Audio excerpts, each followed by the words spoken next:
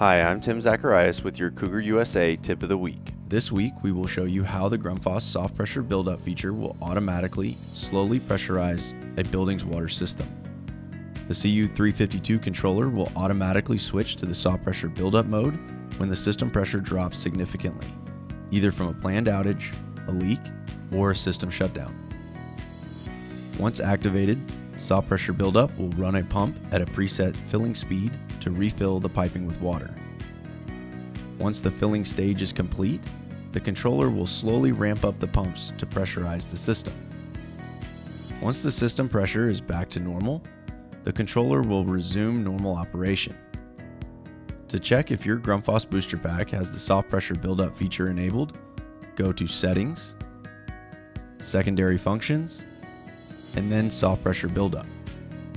Because the filling speed, filling pressure, and max time settings are all crucial for the soft pressure buildup to work properly, we do not recommend configuring these settings unless you are factory trained.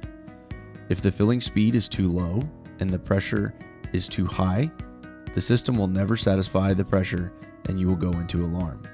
If the filling speed is too fast, you can damage your system with water hammer.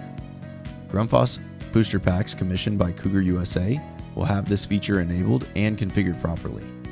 If you would like help with your system and you are in the greater Houston area, please contact Cougar USA for assistance. Outside of the greater Houston area, please contact your local Grundfos representative. In the description below, there are links to related tip of the week videos on how to manually pressurize the system and other BoosterpaQ features.